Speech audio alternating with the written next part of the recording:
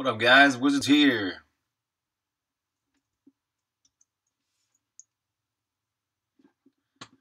Yeah, what's up? This is day 226 making Songbringer. Look how look how dirty my desktop's getting. It's crazy.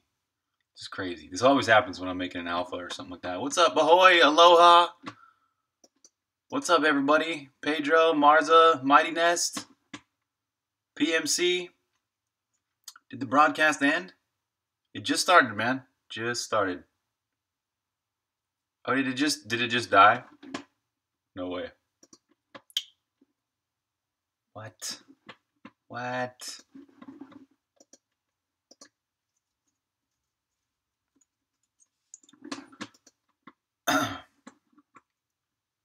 well, I'm just gonna recap what I've been doing for uh, um, for people on YouTube at least.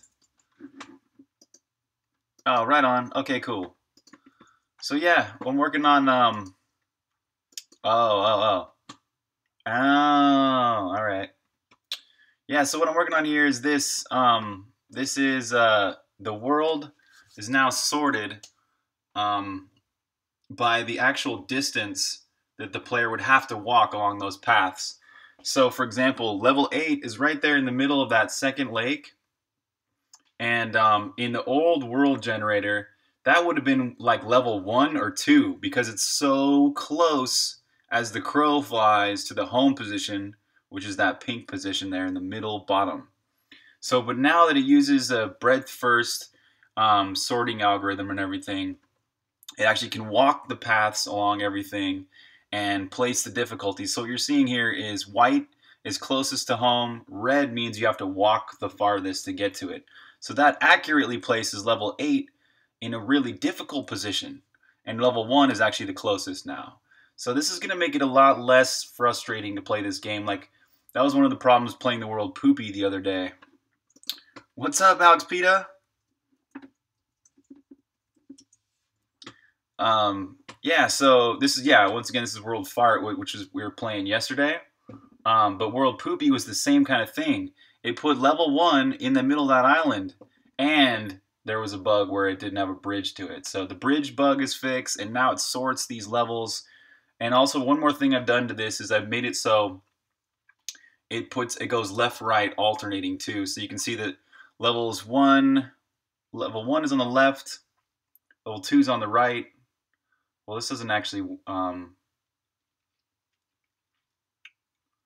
this is not exactly a world that. Wait a minute, this is not doing it. yes.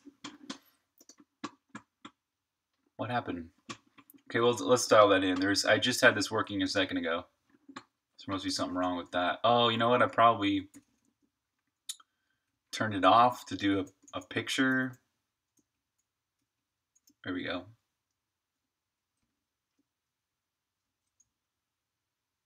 Oh yeah, I just disabled this. So okay, yeah, here's the code which alternates left, right. So we'll run this again and it'll, it'll actually swap. It'll do left, right, left, right, left, right for the, what, the level numbers.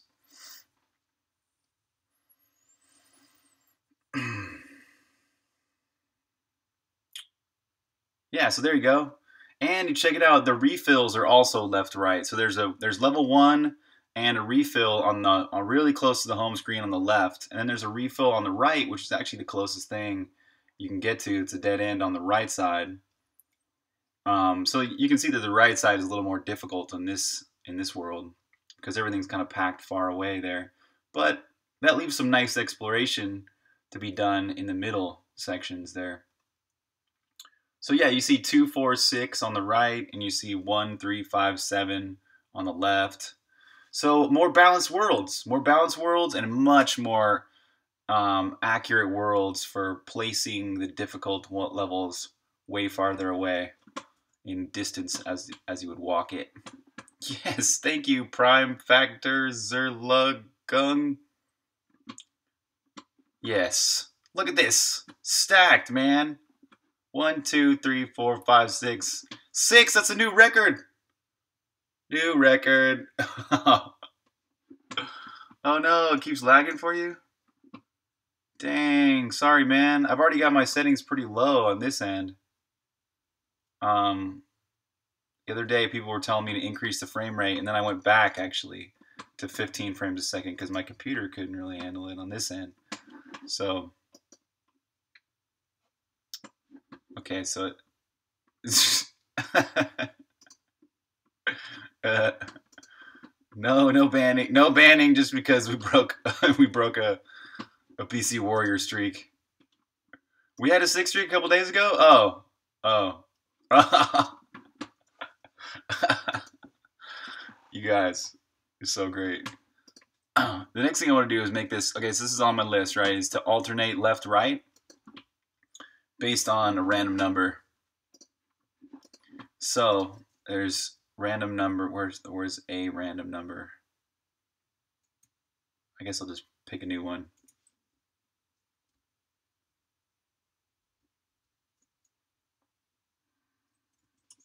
All right, so we'll do R in R equals this, get rand mod 2. So if I mod 2 equals R.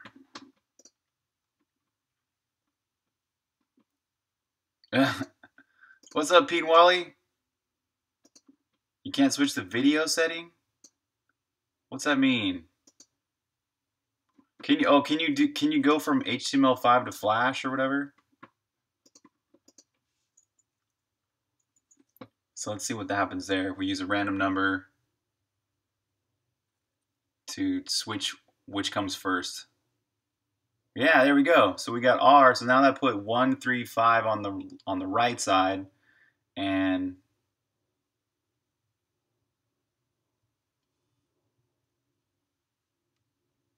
Huh.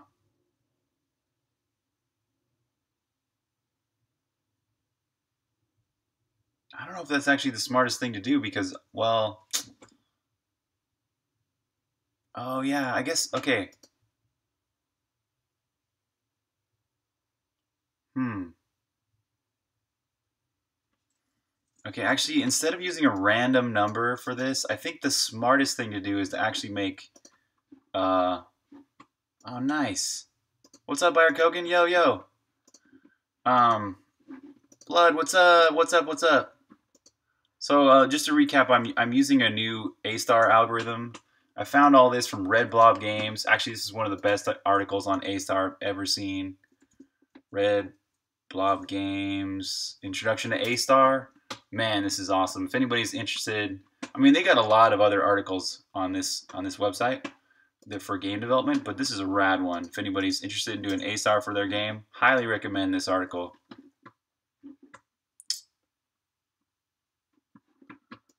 Uh, man, sorry, I wish I knew how to help you here, PMC.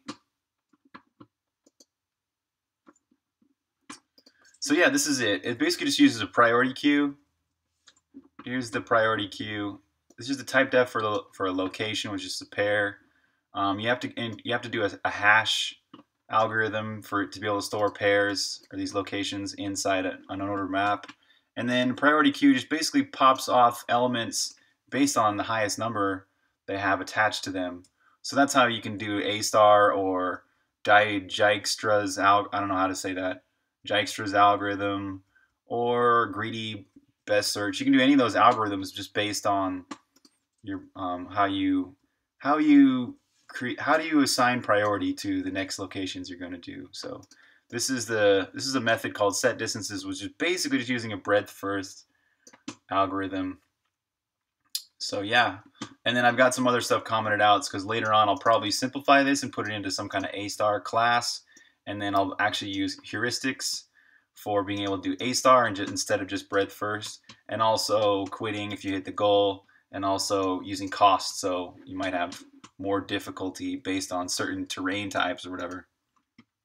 Yeah, great article, right? Really helped me understand because I've I've done now A star before, but I never really understood it that well. So this is this really really helped me there because all there, there's so many good visual examples. It just really helps you grok it. So okay, on to the next thing. I think the way to um, to make this better, instead of using a random number, it should use which whether one or two is closer to the start.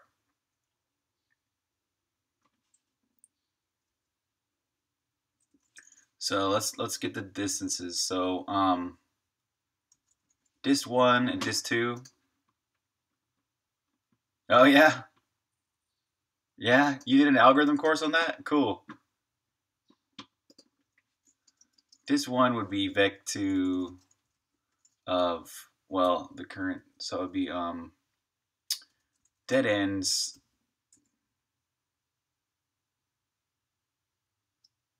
actually let's do this it, in r equals zero if dead ends dot size.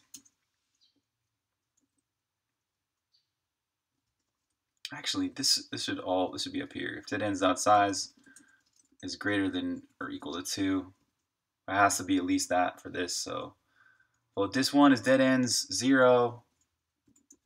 Dot pos. Dot distance to the start pos.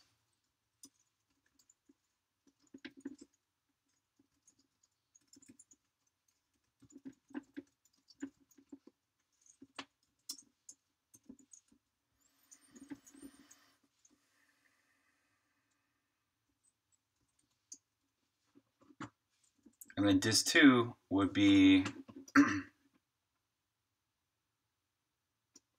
Yeah, true, right?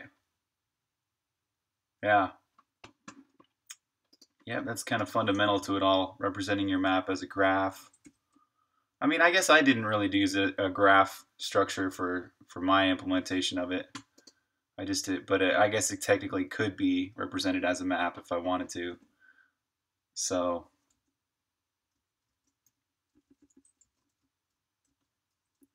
so R is um, dist 1 is less than dist 2, that's going to be 0 or 1. Let's try that out.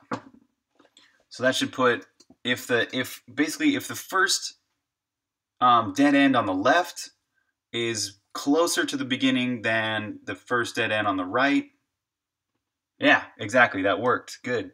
So I put, so see the two closest sides, there's one here on the left all the levels that are to the left of the home screen, um, the closest one is is area one represented right there, and then to the right it gets a lot more like a lot crazier because um, the closest one is that R over there. So that R is so far away that now this algorithm does does puts it. It also plays with the distance there to determine which one should come first. So if I were to do, if I were to swap these, then you would see that it would swap them all and put two on the right. Oh, is it? Yeah, cool. All right, cool.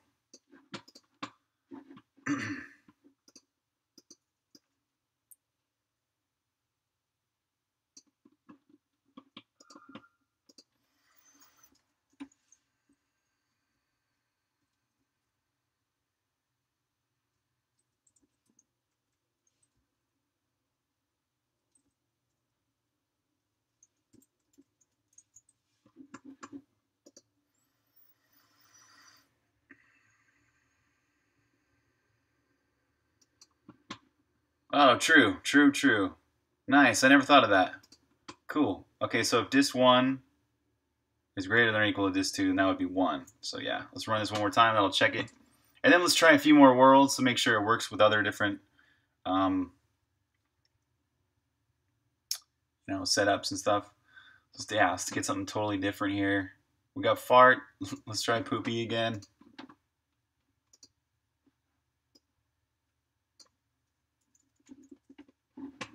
Oops, that's the wrong poopy. We got this poopy.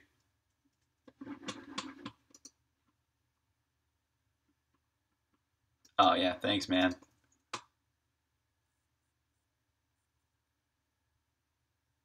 Yeah, just check out that world. That's way different. Poopy. Yeah, so the that that totally shows that level one used to be that number four there. That was the level I was so trying hard to find, but I couldn't. So now level one is much easier to get to. It's the shortest distance over there on the left. And the shortest distance on the right side is two is way far up there. But I guess not. If you're walking as the crow, as you, as you, as you would walk it, two is actually not that far. Huh. I mean, this would be an interesting world to play. I wonder why it did white, or there's no difficulty there on the near level six. Yeah, it's poopy again.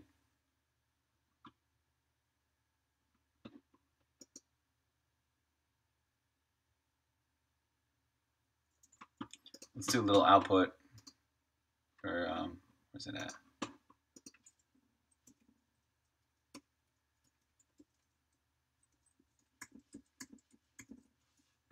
This will show us all the difficulties, and then we can look at what's going on with that top right corner.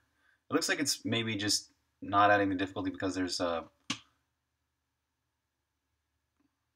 water there or something.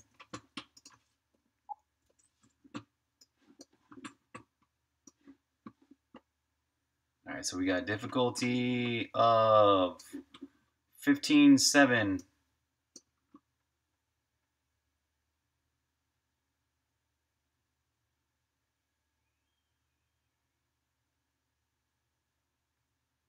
No, it's going to be 15, 7,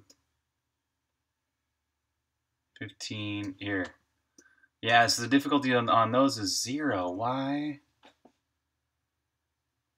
Uh, hmm.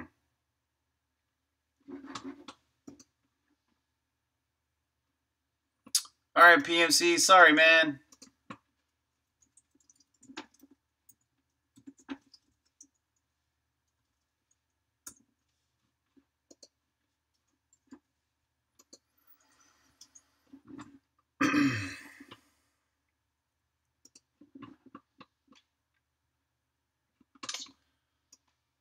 Okay. Uh, what could be causing that to be a zero?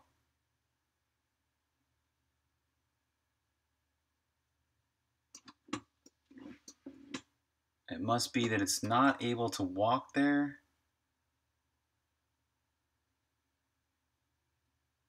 Oh yeah, probably just never walked there.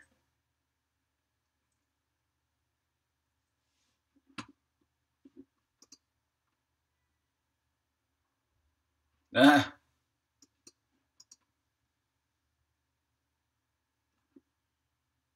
Oh, oh. Oh yeah, I know my name's my name's crazy, right? Wizard Foo. But several people I've joined other streams and like and even like talk to friends and stuff like that and they're like, Wizard FU, what's that what's that about? No, it's Wizard Foo. Yeah, so I don't know if that's the best name actually. But oh well. It's the name I got now.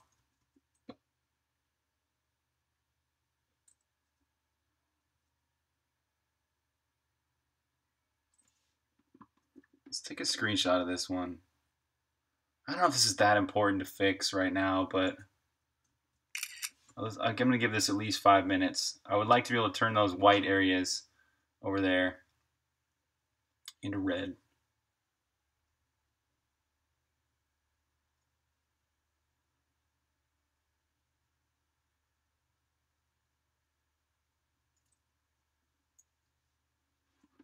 Oh, okay. So this, I can see that maybe it's not open.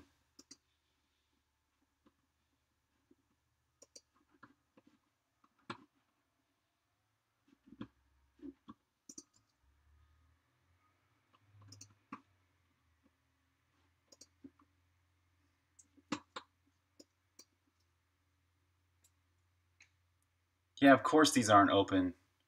So these must be backfilled, sort of after let's see where does this actually happen where it puts in the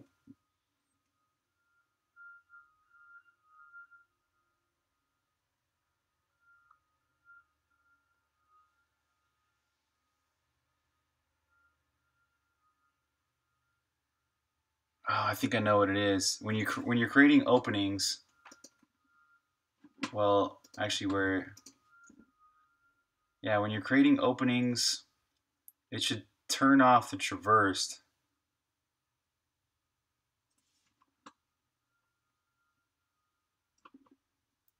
So that's, it's using, for level 9, or for level 6 right here, it's setting the openings of, of the whole. Where does it do that?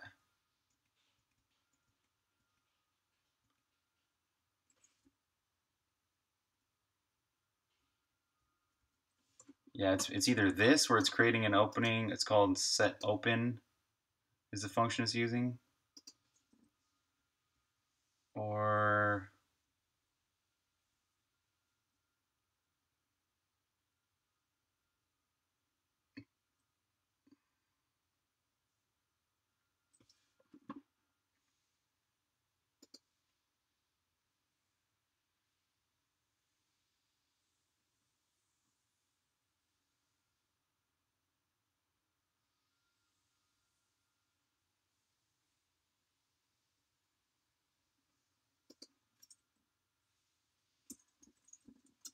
I think this is what needs to happen. Basically, there's two there's two bits of data that get set every time the maze generator algorithm walks a step.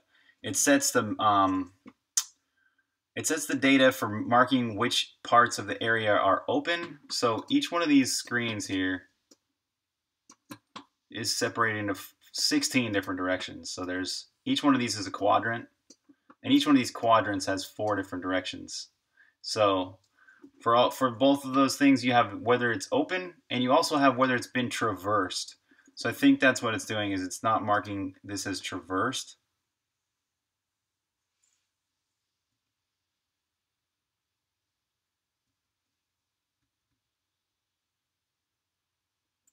Oh man this might break everything actually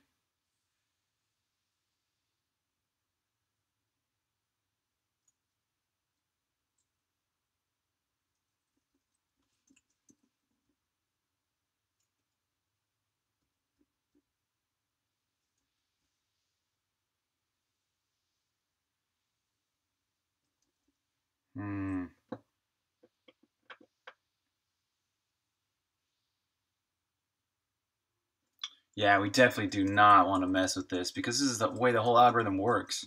It backtracks sometimes and when it's creating these maze algorithms to do that. So this is not an acceptable way. So it, would probably be better to mo to modify the difficulty. These red the red lines are basically just showing that it's more difficult. Um, it'd probably be best to modify that difficulty here instead of trying to you know backtrack or whatever or trying to do it in the algorithm so he's open squared or oh oh wait wait oh it already does do this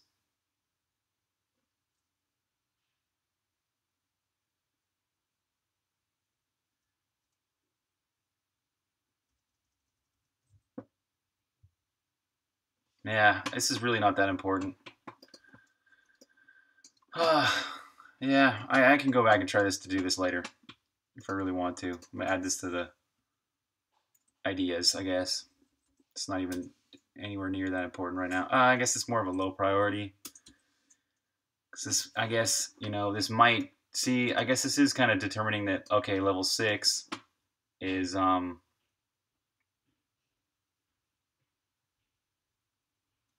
is not as difficult as level 8, whereas actually level 6 probably should be more difficult than 8.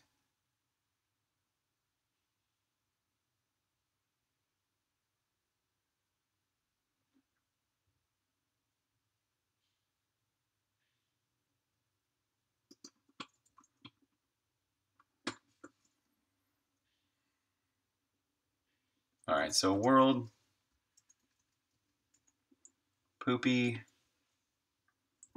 15.7 and 15.6 have white and red difficulty mixed. Yeah, this is not that important, I guess. How did the previous algorithm work? It was it was using um, just as the crows flies distances, so really not very intelligent at all. Um, so, for example, it use it uses the same. Oh, man, it uses the same places for all the dead ends. Exactly, it's a Manhattan distance algorithm. That's the most accurate way to say it. I was saying as the crow flies, but yeah, it was using Manhattan distance. So that's basically that's Manhattan as in city blocks. So it would go, um, for example, this one would have been one of the levels, right? Um, this all these would be levels still, but as the crow flies, this is only like one, two, three, four away. But this is this is the better example here. Is number four.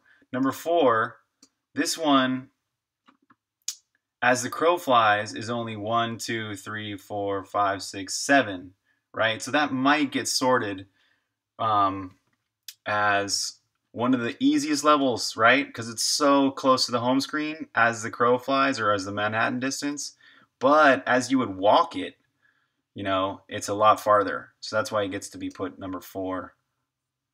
This one is, so this one is actually the closest level as you would walk. This is the second closest level. I guess. This this almost seems wrong to me because this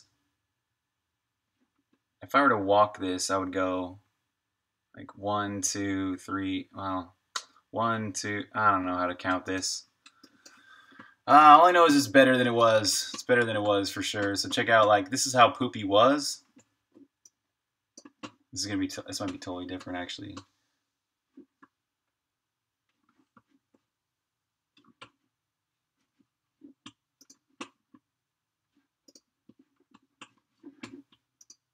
Oh, okay, cool. Cool, cool. Yeah, so that's, this is, yeah, maybe this kind of illustrates a little bit better. That's how it was. This is how it is.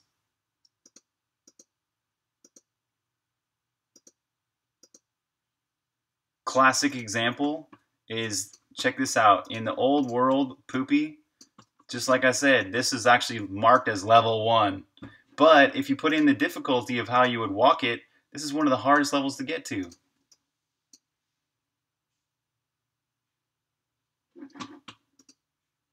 What's up, Zoc?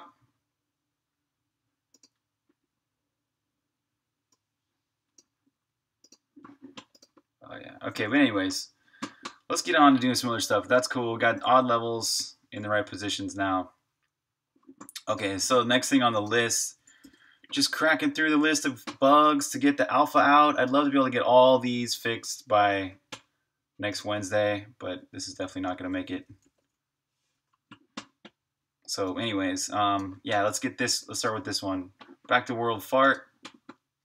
Fart. And 332. This had a drop with the sword item, even though I already had the sword.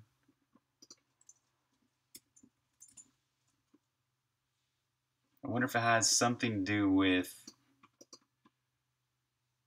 the items the player already had, though. I don't know. Let's let's see. Uh, basically, an enemy should never ever drop the sword. I don't know how they would have gotten it.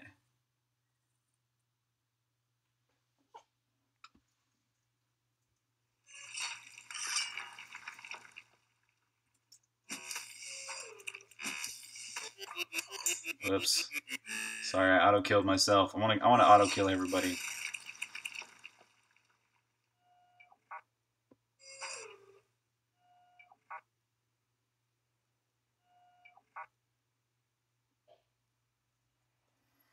Of course, it doesn't happen now.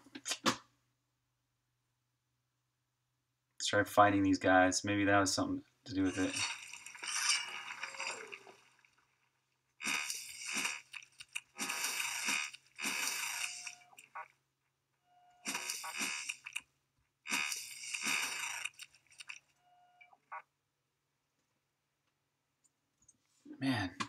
wish this would... Thanks, thanks, Zach.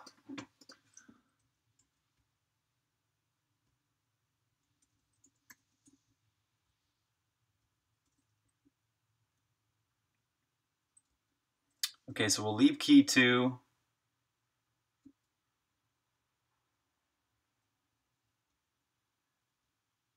Let's delete all those.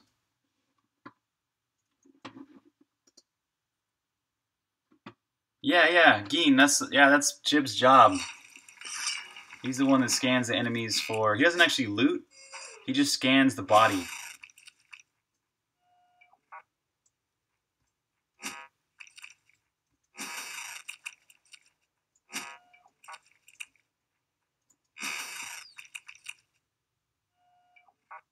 Oh man. It's turning out that's a hard bug to catch. Yeah, what's up, man? How would it have ever given the player the sword as a drop item?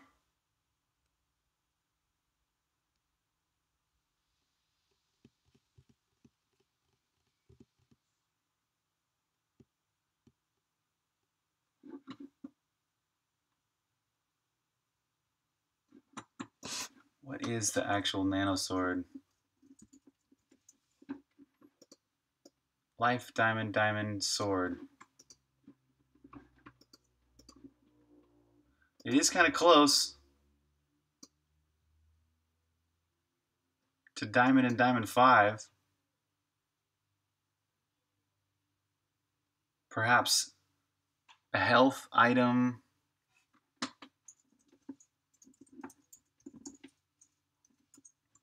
got incremented or something?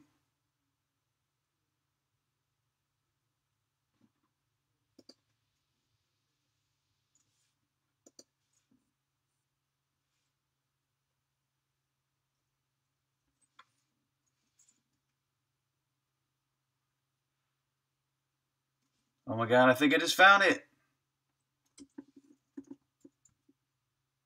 Yeah, so areas never have a boss item by default.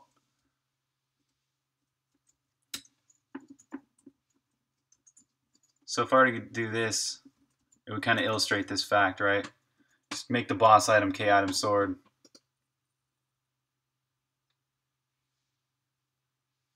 Oh, cool. Good point, Pedro.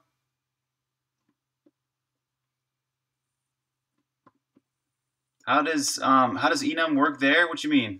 What's up, Momir?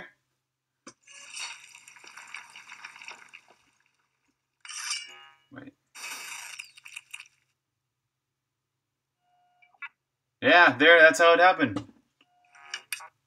Cool. Wow, I'm so glad I caught that. What's up, hey guys? Okay, so yeah, let me note that for good point, Pedro. I'm gonna put that as a um, it's not a high priority item, right? But it is a good uh, thing to get fixed. So um,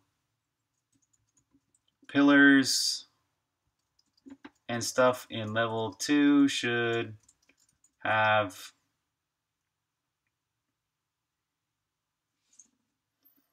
and other stuff near lakes and rivers should have reflections. And I just noticed this too. Level 2 reflections are a little off on the X plane, sort of. Yeah. So, what is this? Okay. So, what's this? What do you mean? What's your question? How does the enum work there? What do you mean? How does it work?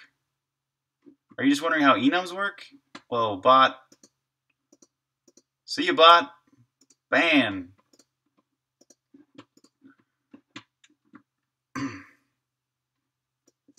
so glad I got that fixed, man. That that's this was like such a bug. Okay, item none.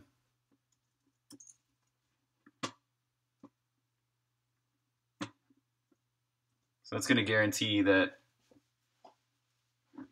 if the boss item never gets set. So wait, where did where did the boss item get set before?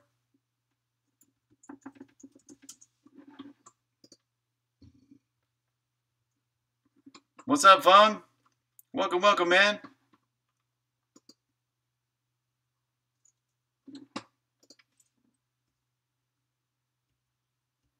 Yeah, so the only way it would have got set is if the boss item had been set manually, and I'm pretty sure that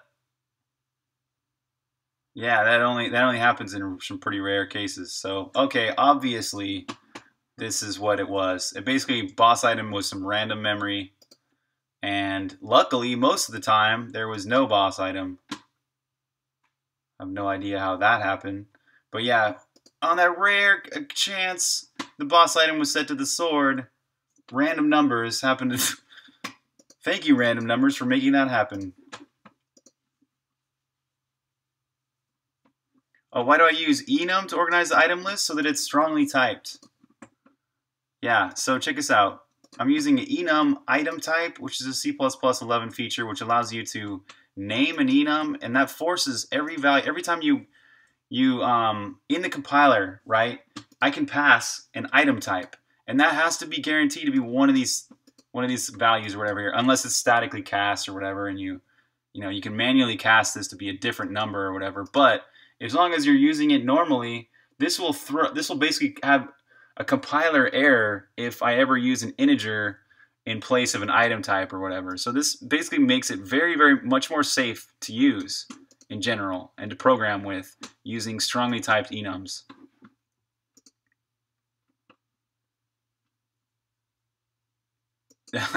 it is covered in troll's blood. Uh, all right, cool. That's a good good bug fix. Let's check these both in.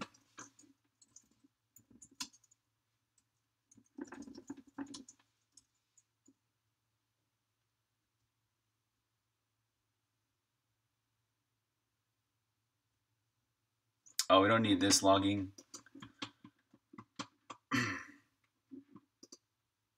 Again?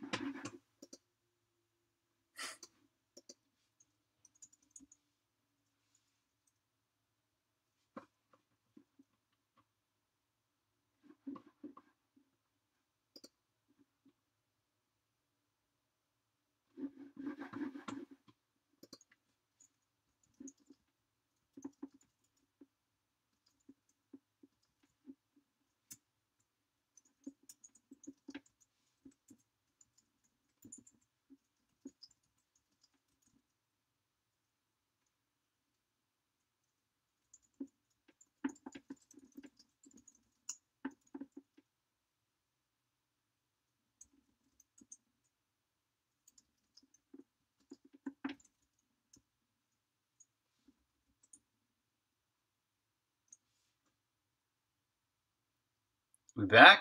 All right. Somehow dropped the connection with Twitch. It was like reconnecting, reconnecting, reconnecting, and then finally it connected. So Twitch's fault. Definitely Twitch's fault. Definitely wasn't me. Sweet. We're in business. We're back in business. We're selling lemonade. Okay, what's next on the list? Oh yeah, the red dot appeared in Dungeon 2. Fart. So we're still in World Fart, right? Yeah, Dungeon 2, we're still there. So we should be able to run this. Let's make sure that we don't have, we have the compass zero. That's what gave us that error, I think.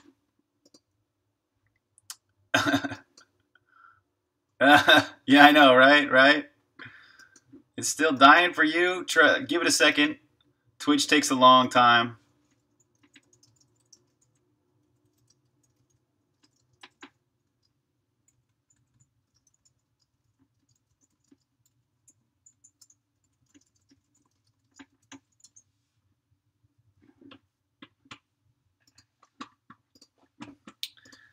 All right.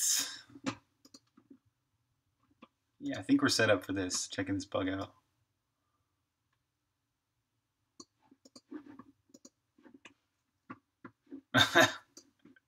no, no. Oh, they did, did they? Pigeon carriers? Sweet.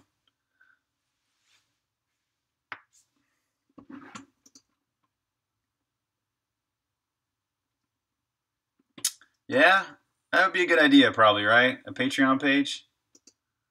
Um, yeah, that was suggested quite a long time ago, and I just never did it. So I probably should do that, huh? Oh, now it doesn't have? Okay. It does not have... Yeah, I, I gotta do this. I do gotta do this, Vlad, Blood. Because, yeah, it's getting closer to December where, where the Kickstarter funds will run out, and I would love to be able to keep doing this game until at least March before I first release it. What's a Patreon? Are you being sarcastic? What's up, Teat? What's up, Game Vivo? Welcome, you guys. Working on some bugs here.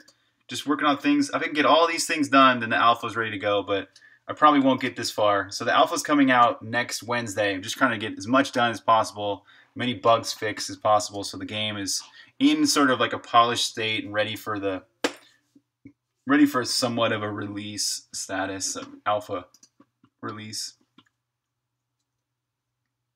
Oh okay yeah yeah. Oh yeah patreon. It's um yeah. It's kind of like a way to kind of subscribe to somebody you know you can just you can keep you can keep on paying them every month, or you can pay them. I think you can pay them once too. I don't know. Oh yeah, it's pretty cool. Yeah. Um. Yeah. So I'll, I'll do that. I need to do that. Because that's a really good idea of how I can get to March. Uh, yeah. Yeah, yeah.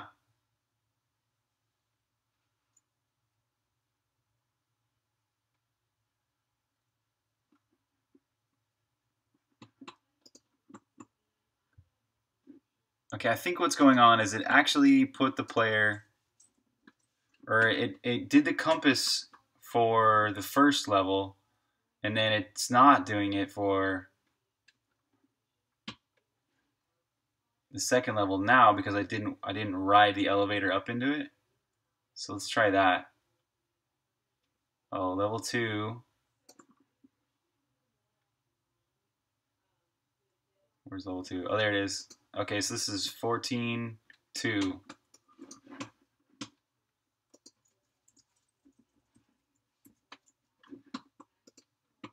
Yeah, totally right. 14, 2, what? Oh, 14, 2, 0.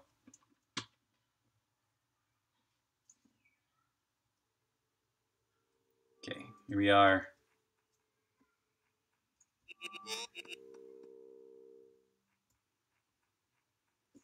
Oh, and also, oh, let's go back. Oh, yeah, see? That was totally the bug.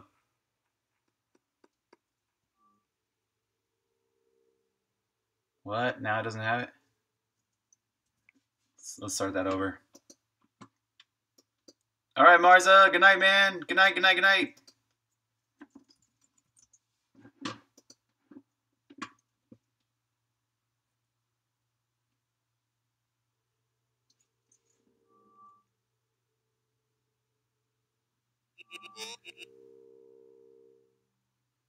Oh, it does have the red dot. Okay, so the red dot is blinking. It should definitely be on top of that X thing, though. So let's see what happens when I go down in here. This um, should not no longer have that red dot, but it does.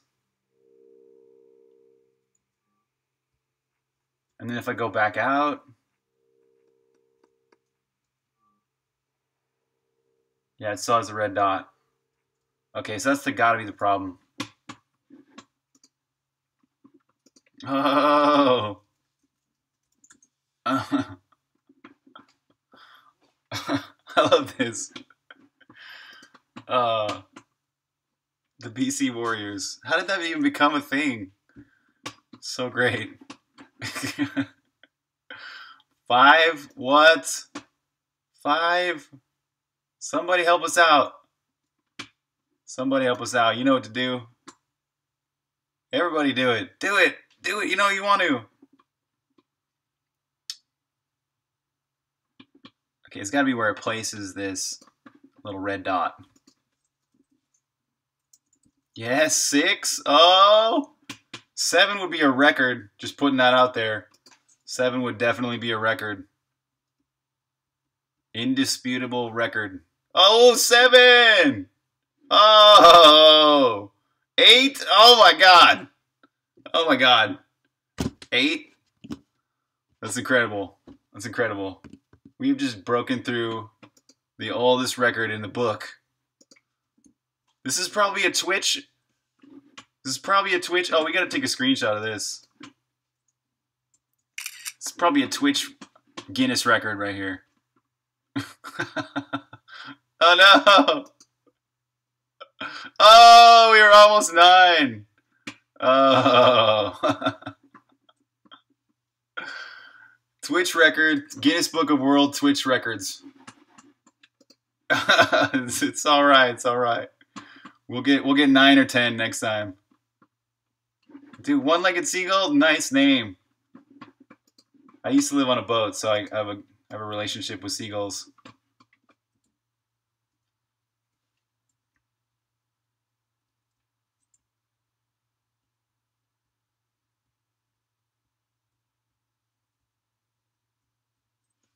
Yeah, so the thing is, the boss room needs to be way higher. Let's put it at 10. And then all these other rooms could be at like 2 or 3 or 1 or whatever.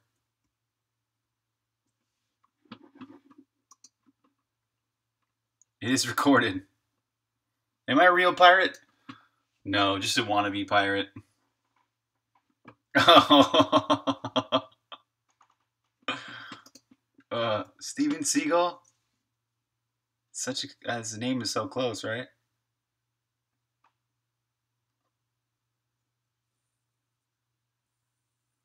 All right, so yeah, I'm just getting this little red dot. So it appears in the correct Z order and also goes away. So once we walk into this lower Z level, there should be no more red dot.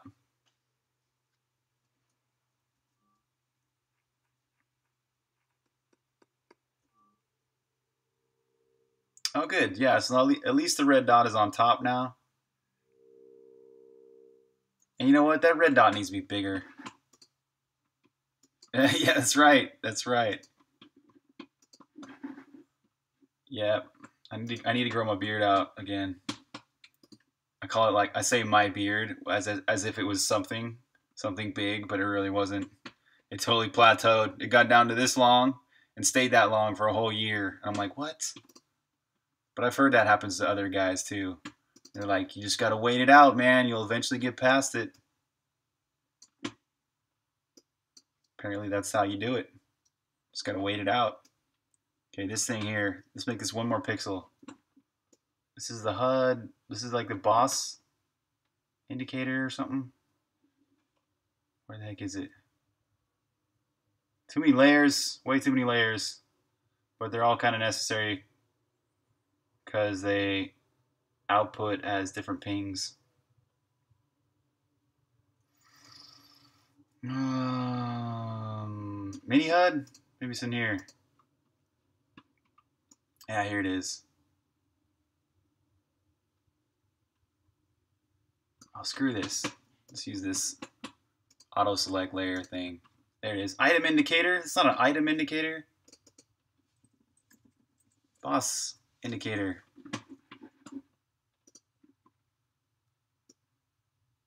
Oh no, you have a huge hole? That's crazy. Crazy, man. What's up, Ethan? Good for you, man.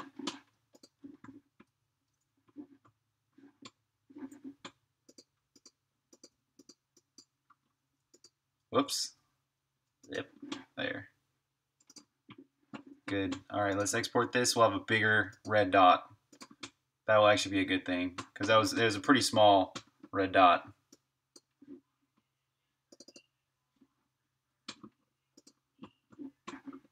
Oh, it's wrong, wrong, wrong, wrong. We need save for web. All user slices, sheets, HUD.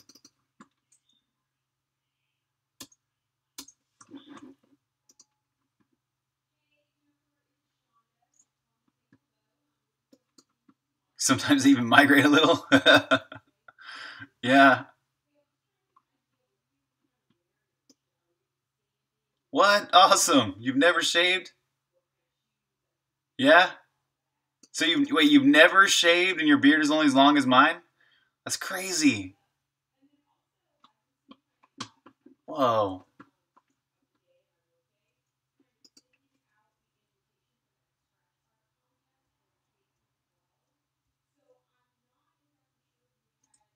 So it puts the boss position. Where where the heck is it again? Oh, here it is. Boss room. If boss pos is valid. So every time we go to a different Z level, we need to reset the boss pos. I'm pretty sure it is doing that. Reset boss pos.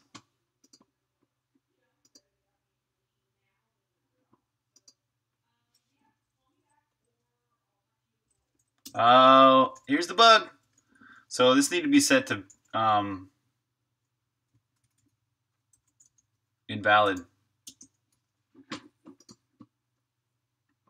Oh, maybe you'll get it. Maybe you'll get it eventually. I got a friend like that too. He definitely grows no beard. His whole face. He's never has to shave. It's, it's weird. I think it's weird. He's weird. No, I don't. I don't actually mean that. I guess I'm kind of jealous. Sometimes I wish I, I didn't have a beard. Be cool, right? Not have to shave. Spend those two minutes every three or four days. Not shaving.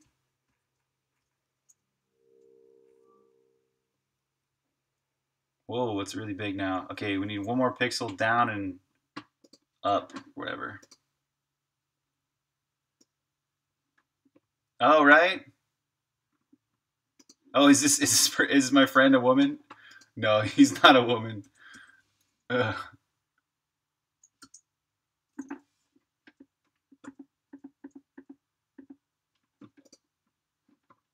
It's gonna be three and two now. Okay, so yeah, this should go in. Oh, it's a protein, huh? Huh. I heard if you want to avoid hair loss, you can do um, is if you get more blood to flow to your hair on a daily basis, it's a good thing. I don't know if that's right or not, but that caused me to start doing yoga, and it worked for me. My dad lost all pretty much you know a lot of his head hair, but I haven't lost my head hair. But I don't know. I also heard that's based on your mother, so maybe that's wrong. Ah, so now we just need to reset boss pos whenever we go downstairs.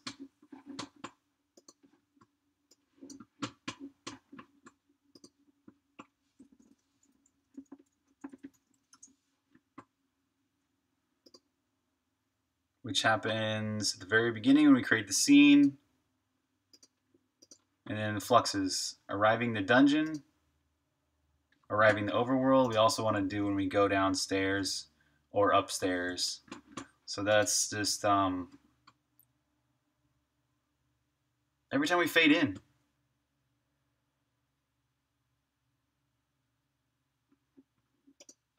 Yeah, actually we can take this out of these. We don't want to do. We don't even need to do this anymore. Arrive dungeon. Right. Blah blah. This just needs to be inside. Fade in. Begin. After we create the area.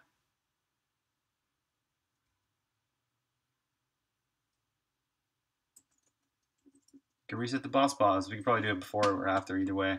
We'll just do it like that. Actually, let's do it like this, just to, I don't know, kind of prove prove a point. Oh, interesting. Protein.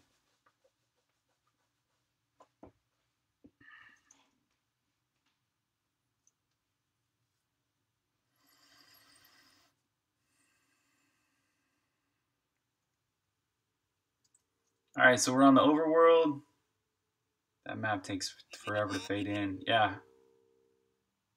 We got the red dot. Go downstairs. No red. Oh, come on. What? Okay, let's let's pay attention to this then. Area reset, boss pos. And also we should probably set a breakpoint wherever the boss pos is getting set to something else.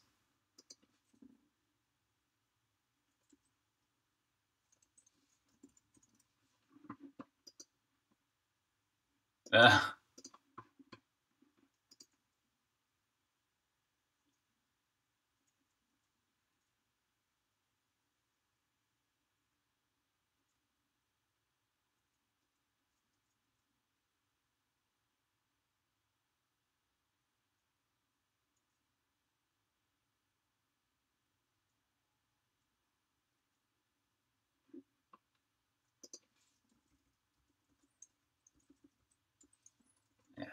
let's set a breakpoint only in reset boss boss.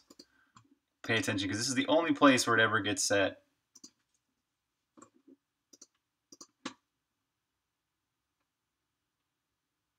Oh, yeah, it does need to be after we create the area because that's what it sets the position, the new world position and all that. Okay, this this probably fixed it. Ah. Oh my god, so many bots.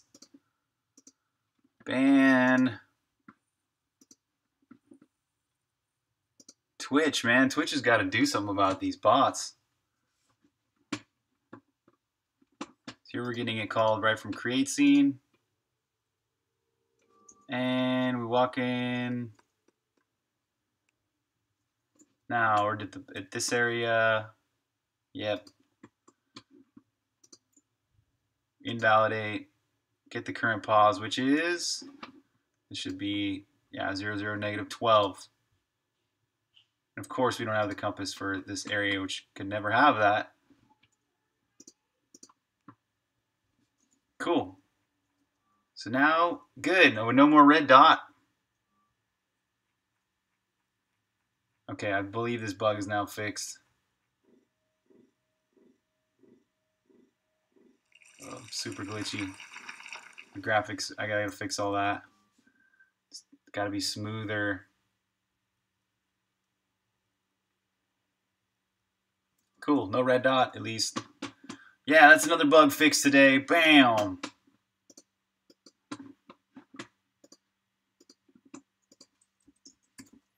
All right, and the maps, um,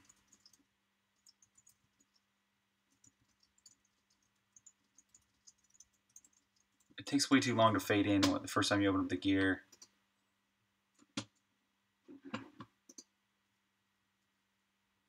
Uh, yeah, I already did that for my last game, basically. I used vector graphics. My buddy used vector graphics, actually. He did all the graphics for Hero Bash. Yep, this is a game we made. It's all vector graphics. And it's it uses, um, what do you call it? Forget what that's called, where you use that kind of animation where you just move bits of your sprites with they're like bones, kinematics, and all that. Oh, oh, that too, probably. Yeah, so I've done vector graphics before, but I really love pixel art. Pixel art is is really appeals to me. brings back that uh.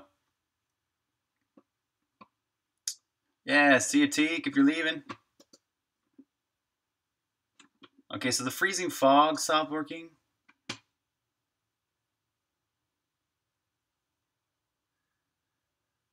find an area with those guys. Skeletal animation. That's right. Yeah. Skeletal animation. Yeah. So I've done. I've been there, done that. It's pretty cool. You know, I mean, for for your whatever aesthetic you're going for, vector art and and or skeletal animation can be a really cool thing.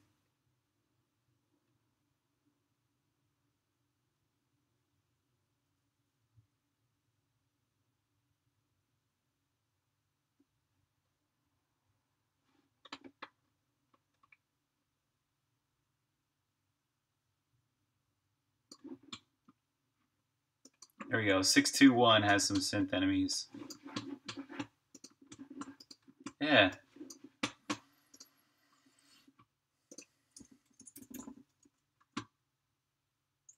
So what these guys do is they have this this freezing cloud thing, which allows you to, um, or you get stuck in it.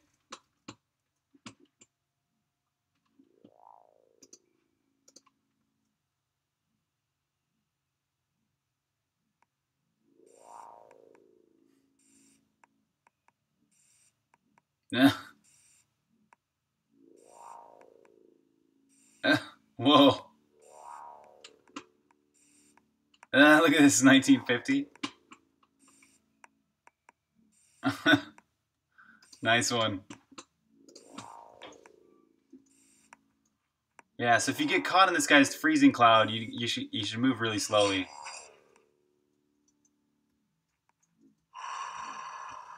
but I'm not moving slowly at all. Okay, so let's get to the me mechanism for how the freezing cloud used to work. It, uh, it modified the player's speed. I think it had its own behavior. Yeah, freezing gas. Timer. Target speed. Target speed 0.01 or 0.1. Yeah, so the target speed is the thing we were looking at.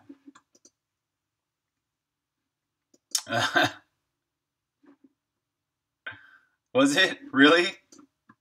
That's crazy.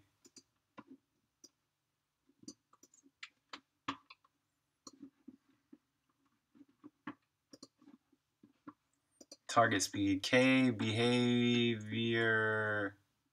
target.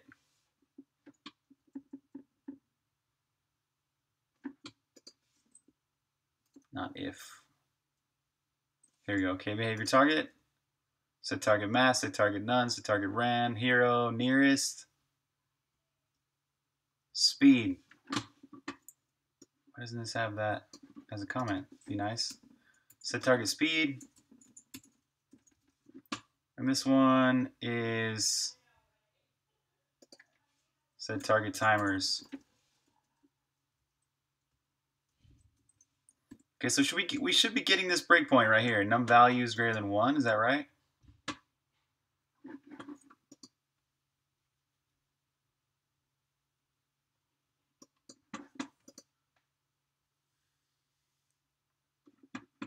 So the number of values for this call is target speed one. So it's two values. Yeah, so that should be fine. Oh, we also we need to guarantee to have a target.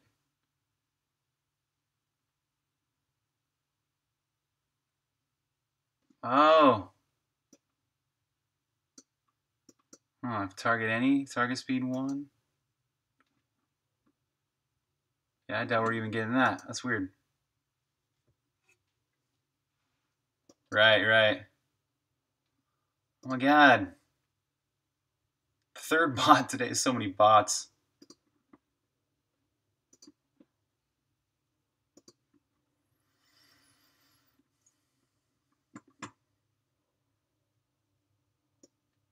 So they had humans role playing as computers trying to talk like humans? No, I think it was just I think it was just two it was a man chatting to a woman in a terminal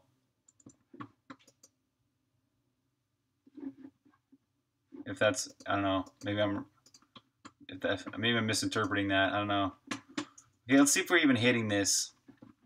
If we're hitting this, then that's a good sign that the, the systems are still working. It's just something happened with the target's move speed factor, maybe.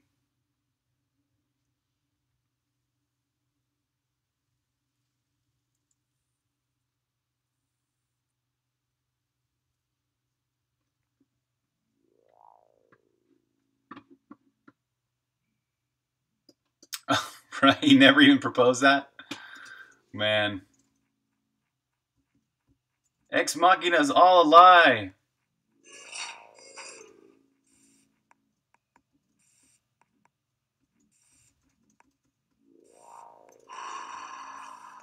Nothing. Nothing at all.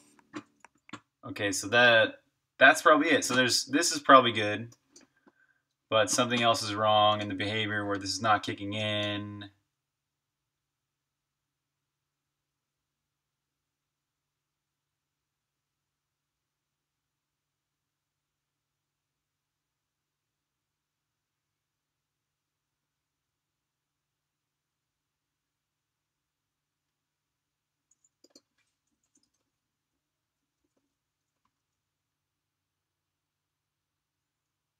It's like it doesn't even have a target at all.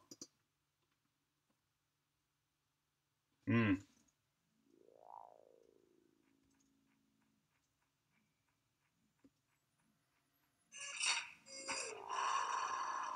Nope, no love. Hmm. Okay, so I'm probably gonna have to. If timer end Oh.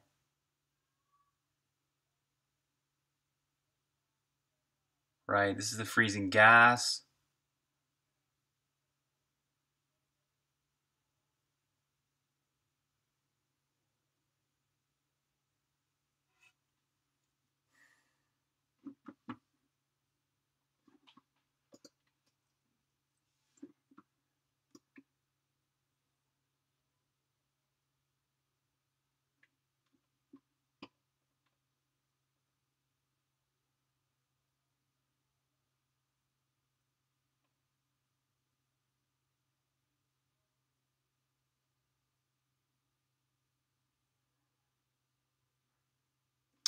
All right, first of all, let's simplify this whole this whole situation. Everything in this. I'm gonna check in my existing code.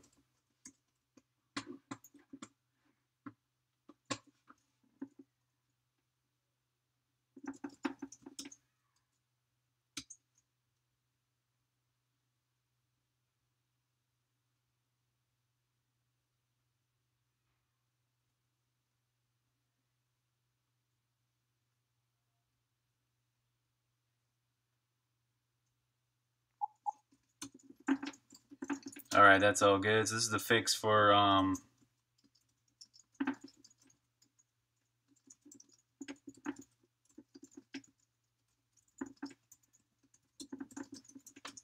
got that fixed. Cool. So now we're in a state where we can, you know, we're in a clean state in the in the repo, so we can easily make some like radical changes. Like foes, for example, this synth enemy. I want to not have blobs for a moment, so it makes that easier. And secondly, the screen we're on, area pattern for level, random, and this sort of water is Smith's, I think is the one it is.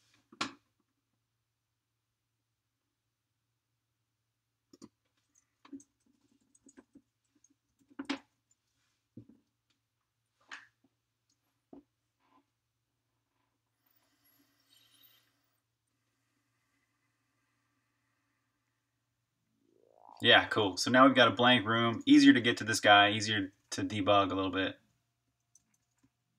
Be nice if he was more intelligent so he did this more often. So let's make him so he does it more often. Um, synth. This is his gas thing.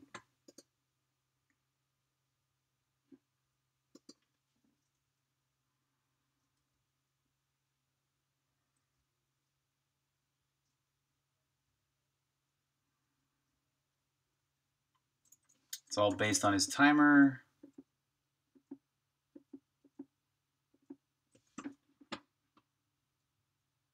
And his smartness.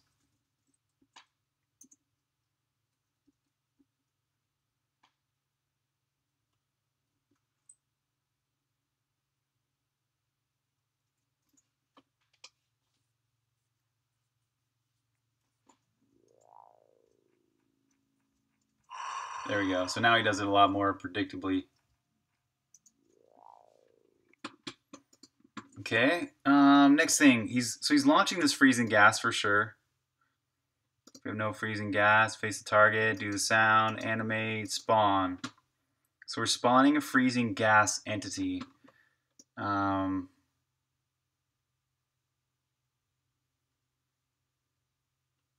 spawn. I just want to know. Uh, we got to get into this freezing gas's head a little bit. So uh, let's, let's start by turning on debug. Maybe that can help us figure out what's what action he's running or whatever. Oh, I forgot that the all the text is too small now. Because I did that whole frame buffer thing. Mm, let's start by making the text bigger then. I believe it's a child render component.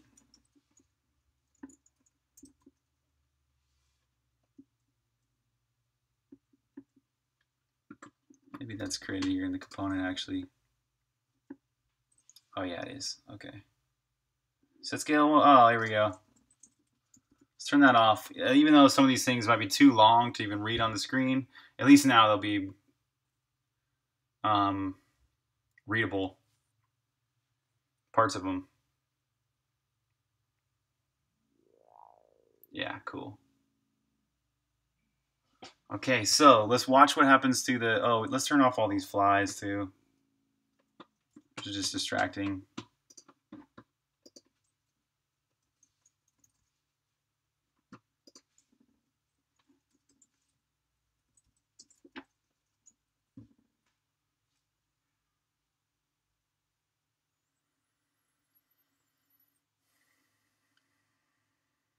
As you can see, my behaviors are actually kind of hard to debug.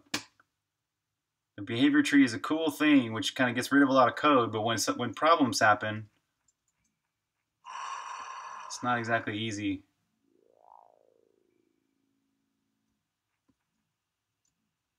It's crazy. It's scaled. It's text. Sequence timer. dir negative one. Target zero. Target zero. That's the problem.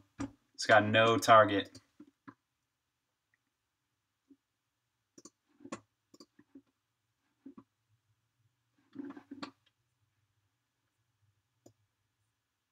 The new form of the problem can be described in terms of a game, which we call the imitation game. It is played with three people a man, a woman, and an interrogator, who could be of either sex. The interrogator stays in a room apart from the other two object of the games for the interrogator to determine the interrogator to determine which of the other two is the man and which is the woman. Wow. Kokin, so true. He knows them by labels X and Y.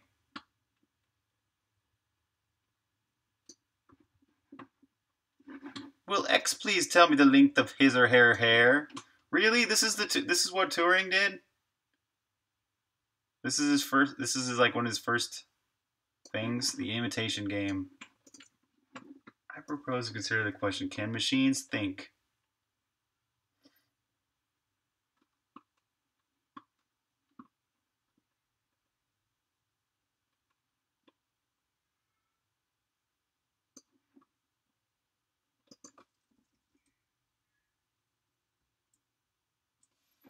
We now ask the question, what will happen when a machine takes the part of A in this game? Will the interrogator decide wrongly as often as when the game is played like this as he does when the game is played between a man and a woman? Oh, okay. So it kind of it kind of is what we all thought it was, right? Would you you'd like to try that out?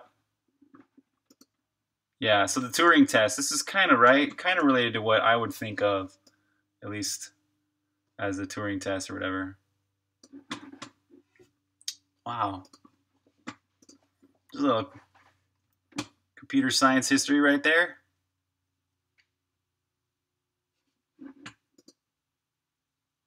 Yeah, I know. Yeah, that's what, that is pretty funny, right, to us today.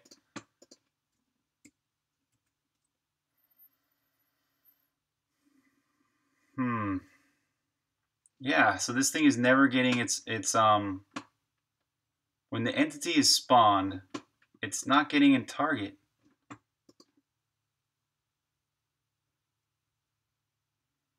Ah, I feeling I was feeling I did change some stuff with how targets are created.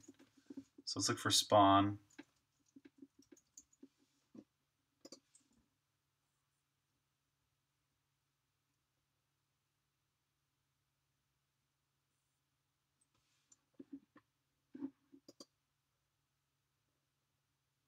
Uh, right. Yeah. Yep, definitely a big um a big clarification point there. Most people don't really most people think of the Turing test totally wrong. Or at least the, the imitation game.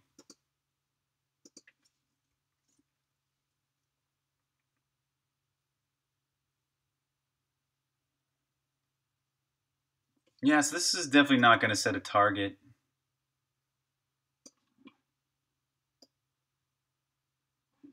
Uh, maybe it just does need it. But yeah, it would it would definitely run its behavior. It should run its behavior.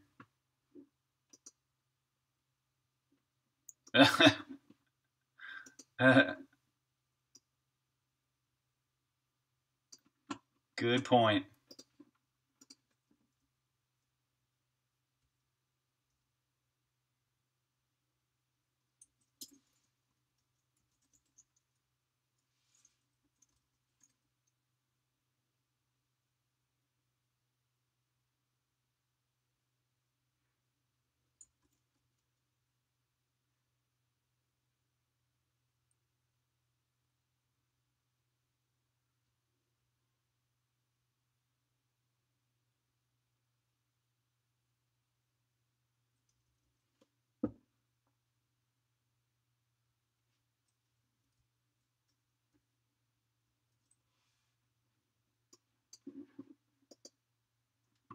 What's up, GNZ? Yo, yeah, I'm about to. I'm about to.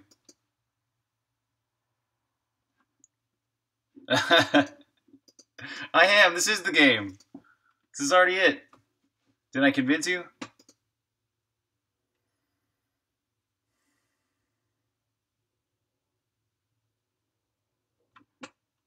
Let's try this. If we remove this whole timer thing,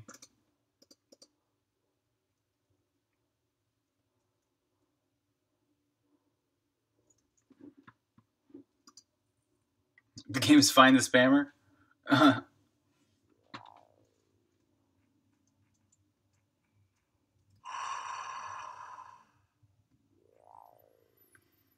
little lower, man. Little lower.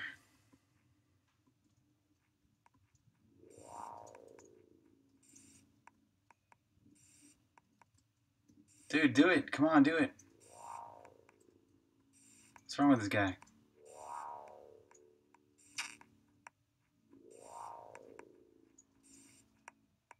Oh, maybe he did it once, and because I did that, he doesn't ever want to do it again.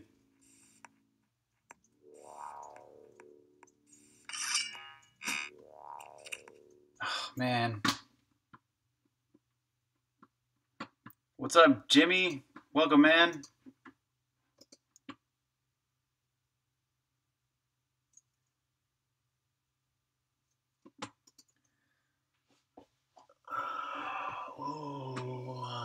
What happened?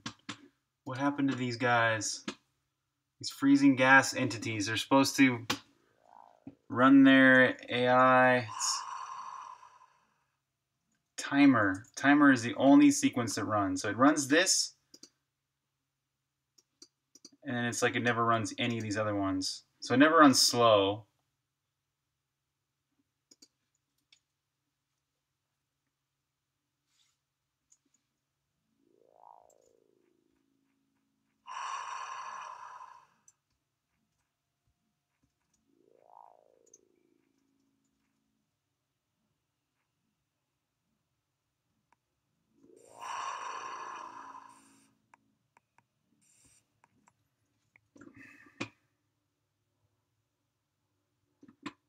Oh, it must be never ever having a timer. It's probably rerunning this over and over and over and over. It's running timer, timer, timer, never doing anything else. It's all I can imagine. If timer begin,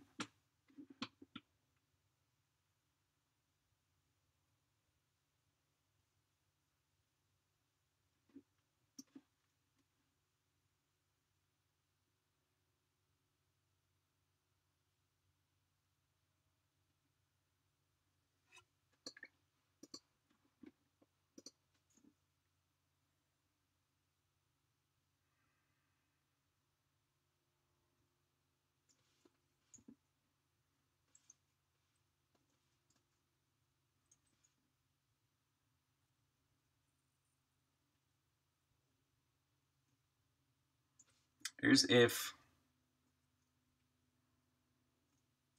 Here's timer.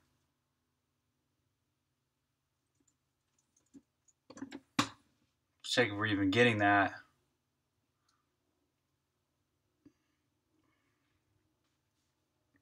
Man. I wish this were easier to debug somehow.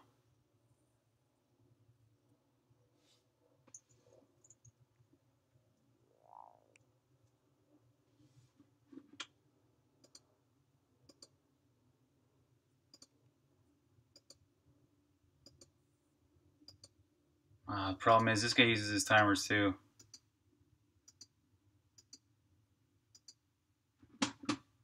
Uh,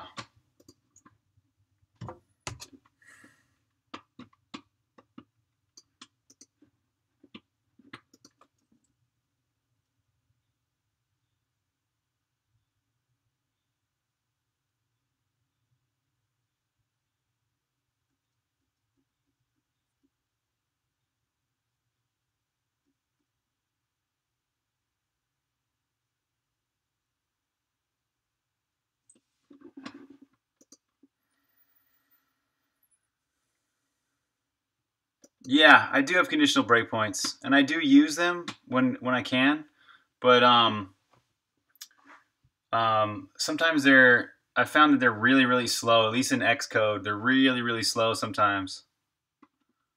So that's only if they're inside a really really tight loop that's run a lot. That's the only time I don't use them. But yeah, I use conditional breakpoints when when I can.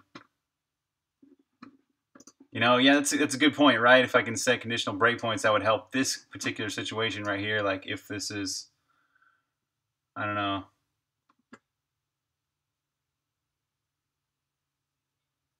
But that's another thing too is you can't. There's some some restrictions like you can only use like plain old data. Like a, you can't use um, strings and stuff like that.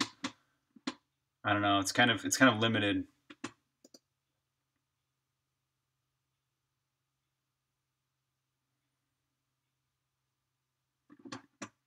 Comment out this sequence. Let's take that out of the equation.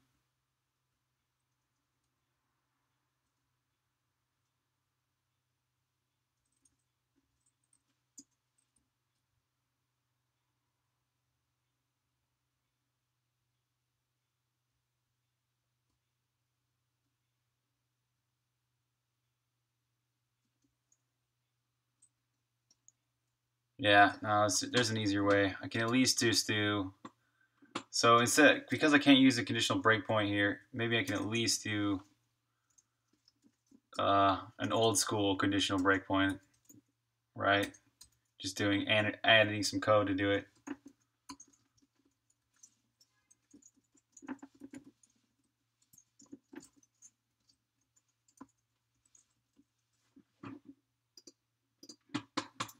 That's that's kind of like a conditional breakpoint. All right, so yeah, let's try and debug this this whole freezing gas entity.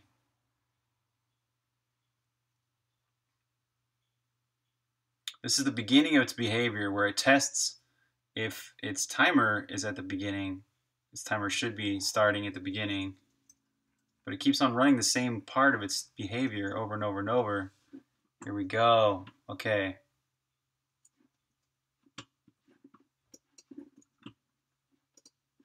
Hey, greetings, Voice of Grog. What's up, man? Welcome, welcome, welcome. You missed a really epic moment. Check this out. Look at that. One, two, three, four, five, six, seven, eight. Eight BC Warriors in a row. It was a, it was a Twitch record. We're pretty much pretty much certain that was a Twitch Guinness Book of Records right there. History history was made on today's stream.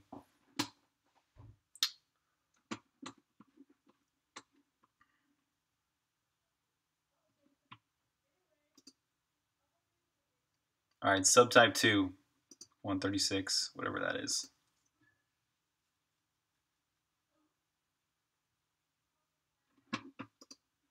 Yeah, right? Yeah. uh, it's all right. Next time we'll get we'll get 10 or 12. Hell, maybe, maybe we'll get one of those streams where there's like a million people on. We'll get 15 Actually, it's probably harder when there's a lot of people on, huh? I don't know. That's what makes it so rare and epic.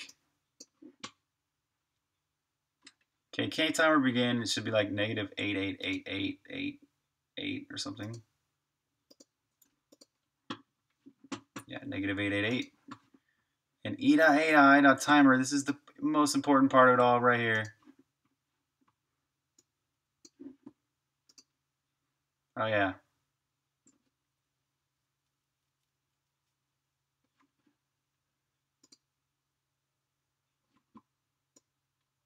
True. Okay, let's let that run again.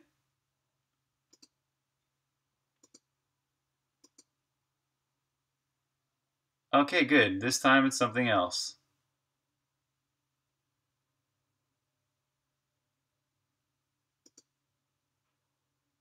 It's end. This time, let's begin. This time,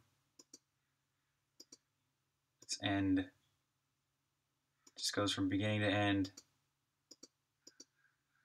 Probably because I sat here in the debugger for so long.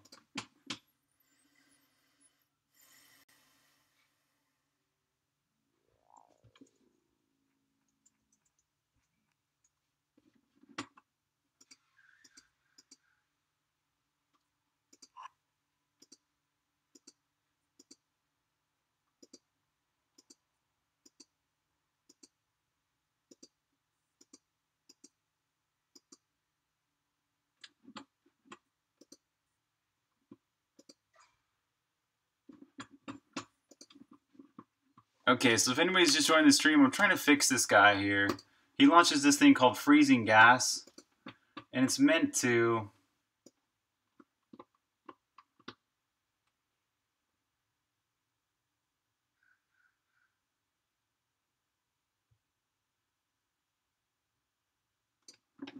Hmm, oh, you know what? I guess I could...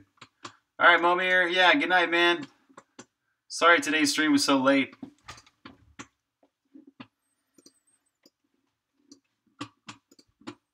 Okay, I got a better idea. Let's just print out the freaking timer. Every time we run this behavior timer,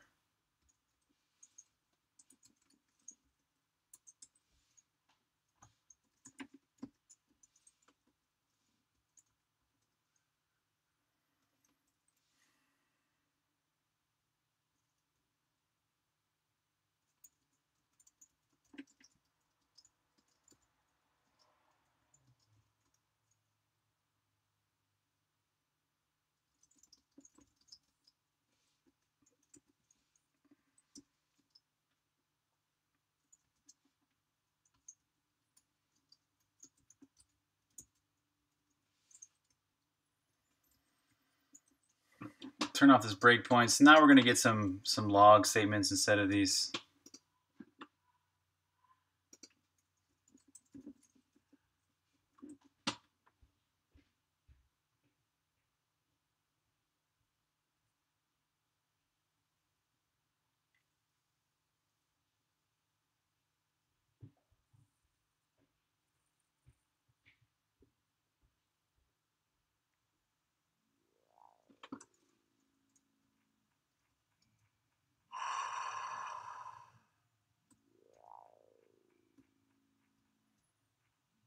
Okay, so the freezing gas should have removed itself by now.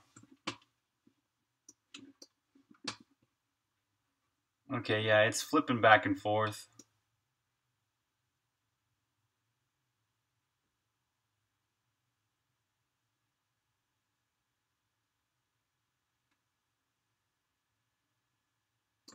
Right, this is all accurate. Yeah, the timer is negative 888. Timer is 3.5. The timer ticks down nicely too, so the timer is working fine. And then it gets to the end here.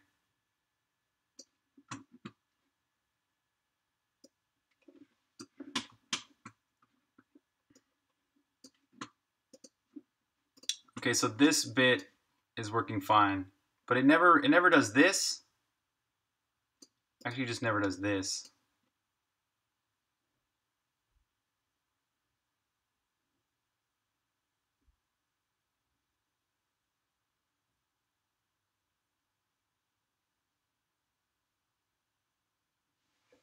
Hmm.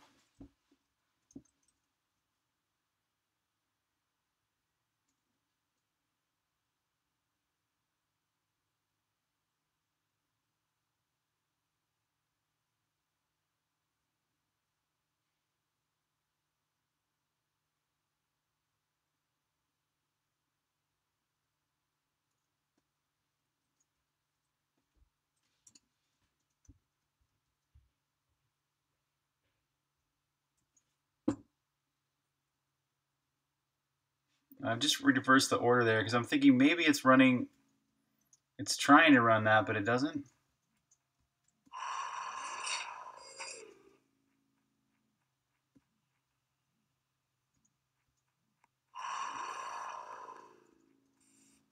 Nothing.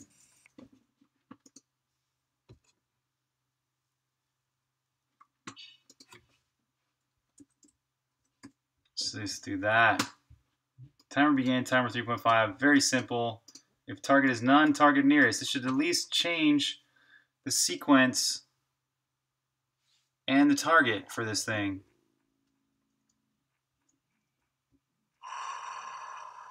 But it doesn't.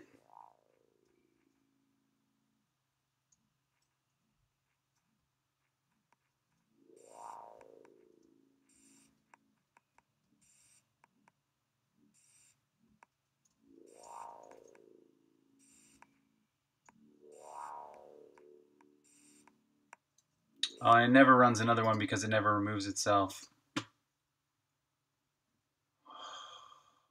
What? What's up, Z Twitch? Welcome to the stream, man. Sorry, I'm kind of frustrated with this code here. I'm, I'm just baffled why this isn't working. What to do next?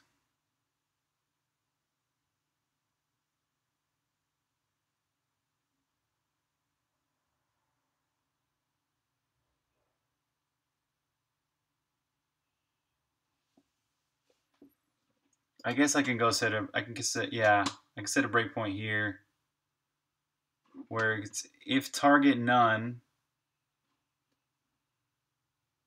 and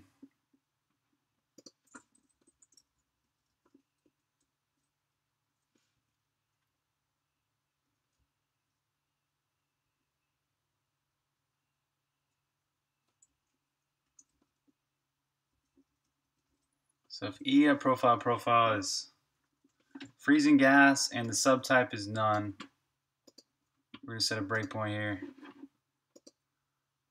Hello, what's up? Welcome to the stream, Pingu.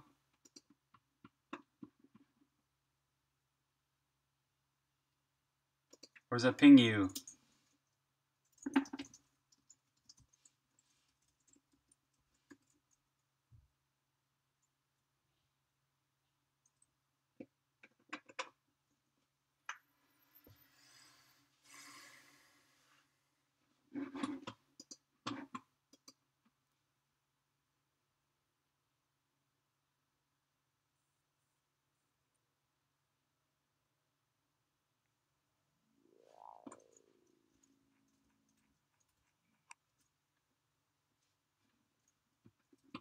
All right, so I'm going to step through this.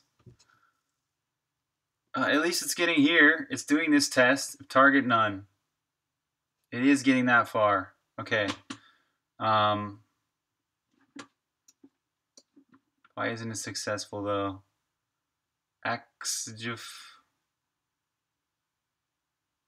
What's e AI does dot target? First of all, this is a pro freezing gas, right? Yeah, freezing gas. AI is active. The AI's target is zero.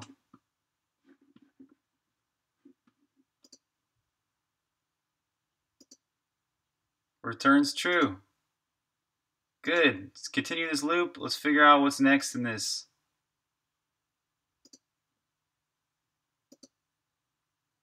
This is the next step of the of the behavior, which should be target nearest and then target speed 0.1.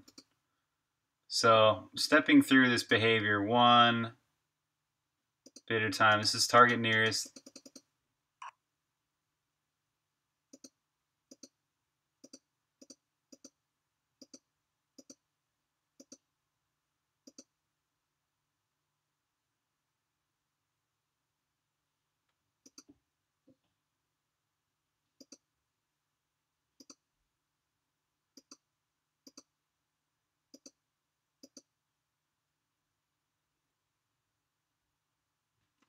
Uh, what's its target mask?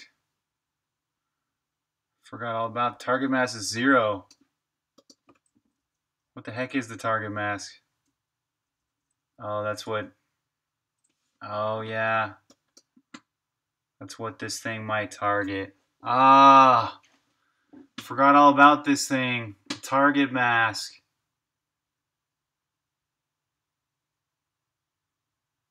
Oh, wait, but there's two ways of doing this. If it's got a target mask, it uses that for collision system. Otherwise, it uses the profile system.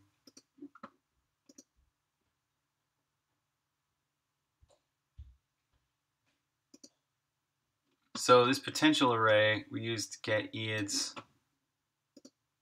for stirval1. Oh, what's stirval1? Nothing. Yeah, so EIDS is going to be blank.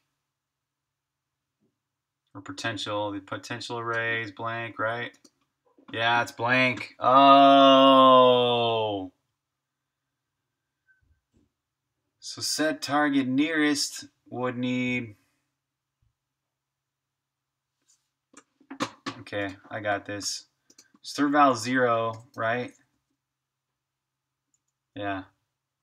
Stirval 1. Okay, so I would either need to do Stirval or a target mask.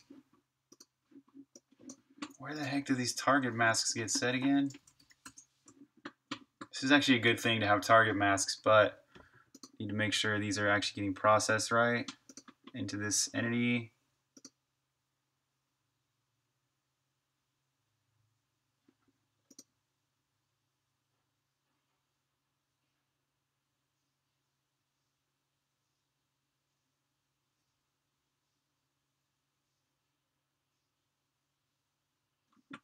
Oh, that's right. It gets parsed straight from that.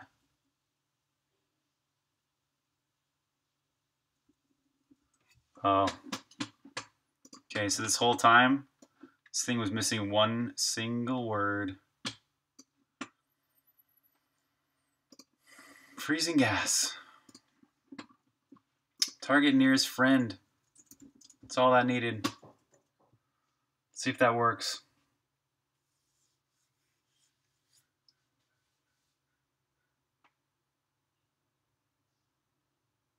This should almost be a default argument, like target nearest.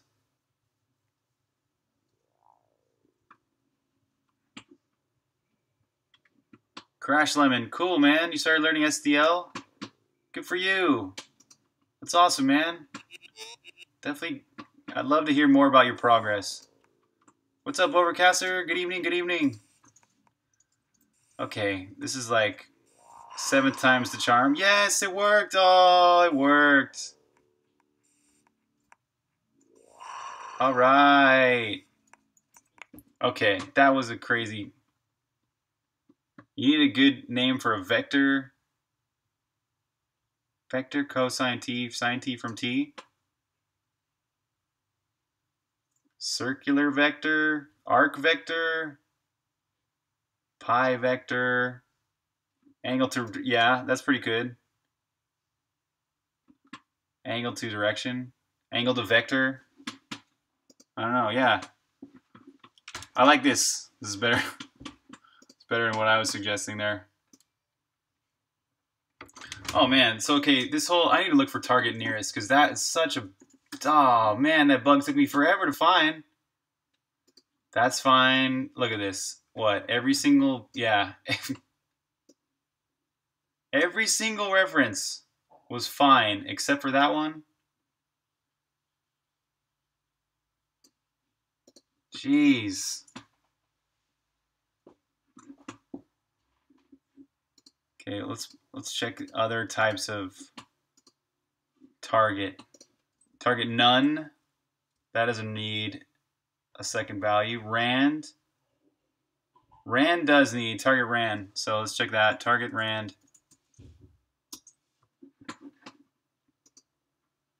Oh, I like that. Kogan, man, you you got a good mind, dude. Very good mind.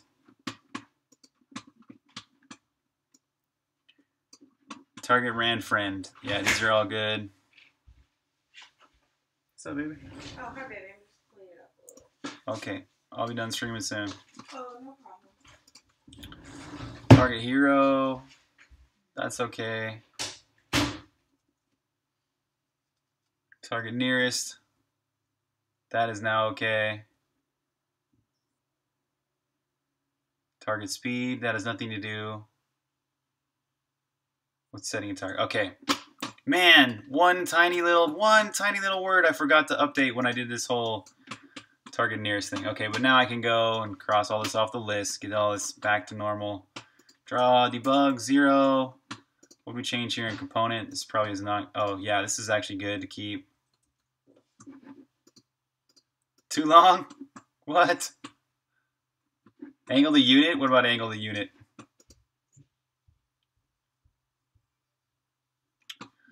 System.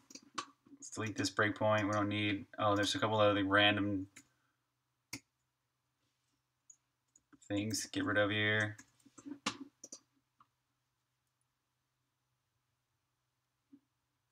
Oh, there you go. Unit. That's pretty good. What about what about unit float angle?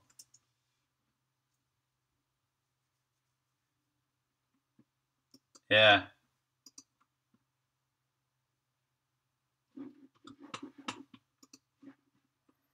Oh, you got float radians. Never mind. Never mind. Never mind. Sorry. My head's my head's just full because of this whole bug here I was I was doing. Okay, so let's get rid of all this crap all this stuff that I did. Yeah, yeah, good point. Good point. Yeah. Ignore my comment there.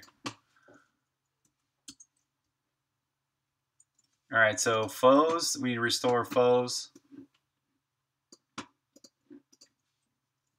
Put in those blobs again. That's the that's the juice right there that made everything work. Synth.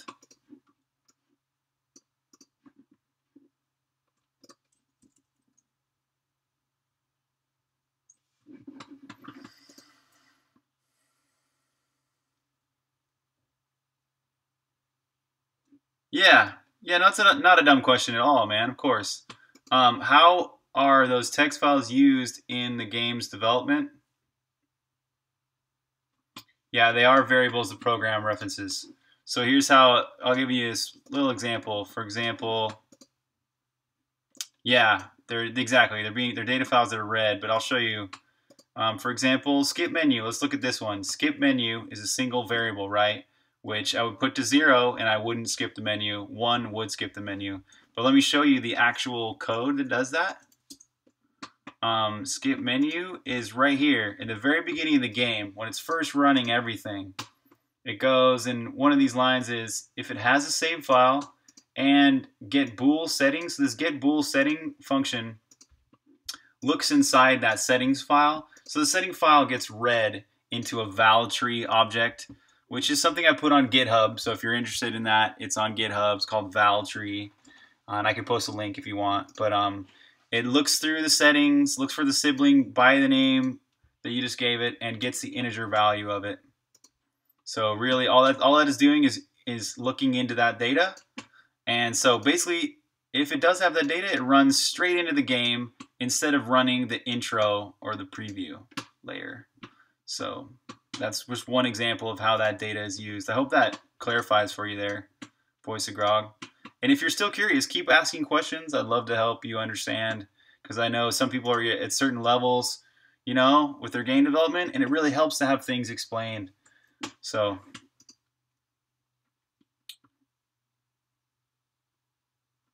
if you would generate code from the settings file, it would be much easier to debug. Generate code? What do you mean? Uh, yeah, essentially every one of the text files is a similar purpose. It's just data. Yeah, cool, Jimmy. So, uh,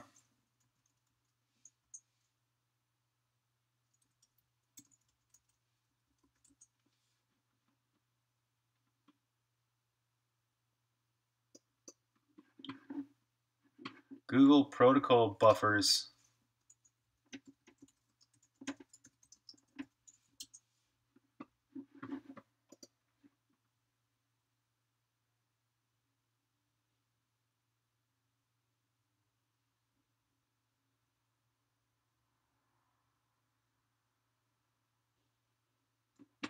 Uh, cool. I'll, I can check this out later on, but I'm looking for more of a specific example of what what uh Vlad, Vlad means by that. Generating code from the settings file. I'm, I'm so curious. Because I would love to improve this.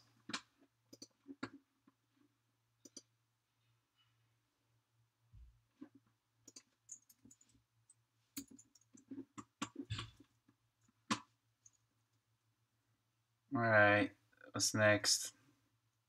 Oh yeah, we turned off all the, the flies. you need two compile passes. The first one generates actual code from the settings file. Oh. Oh. Huh. I'm having trouble seeing how that would actually be very beneficial to this project, though. I mean, that I could see that being a slick thing for some systems, but for this game, it's really wouldn't. I don't know if it's that necessary. But it's an interesting thought. Generating code, convert the text to a CPP file. Ah, right. Oh, okay. Yeah, that's that's a nice simple way to put it. Brandon Dyer, what's up? How do you remove the pixel interpolation when scaling the screen? Oh, oh, yeah. For two things. There's two ways to do that, Brandon Dyer. Oh, it would have breakpoints. Very good point, Pedro. Yeah. So how do you remove the pixel interpolation? There's two, there's two things you got to do. First thing is like this. Every one of your sprites you want to call um, set is it what is it set set alias text params oh get texture set alias text params. So do this on every one of your sprites first of all. This is going to get rid of your your uh, blurriness.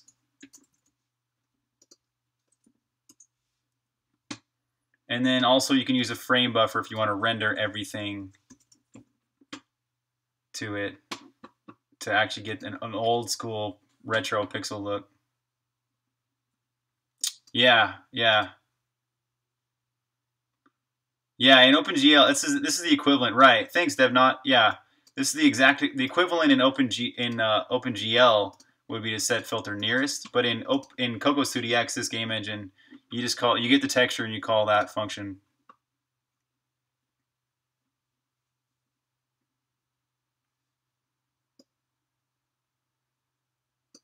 Oh, right. Type safe statements, compile time error checking right, and you can actually debug it as normal code.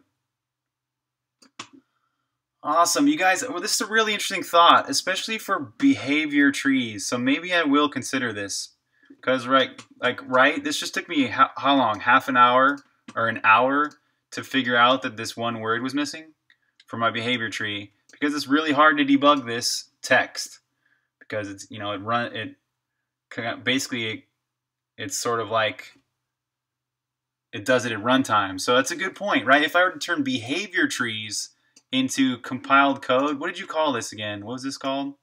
Oh, metaprogramming? Sweet. Yeah, you're welcome, Brandon Dyer. Oh, really? Oh, okay. Yeah. Okay, so you call it metaprogramming, but also what did you call it before?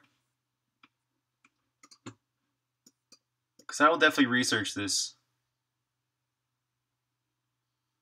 Oh, you're just calling generating code from the settings file. Yeah. Okay. Really good. Thank you, Vlad. Thank you, Eric Hogan. Really, really great thoughts on that. Because, yeah, if I could make this process easier to debug the behavior trees, it would be a hell of a lot better. Even for this current project, I can I can see the benefit clearly now.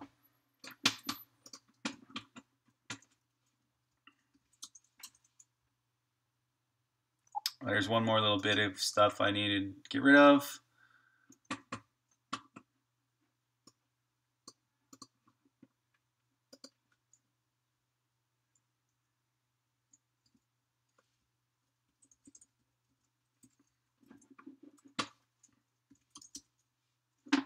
Cool. There we go. the one line fix. Oh. Okay, let's cross that bug off the list though. It might have taken a while, but at least it's better. At least the game's better. Yeah, thank you guys again. Um, I think that's about it for today's stream. I'm gonna do a little recap though, and I'll I'll play the game just for a second.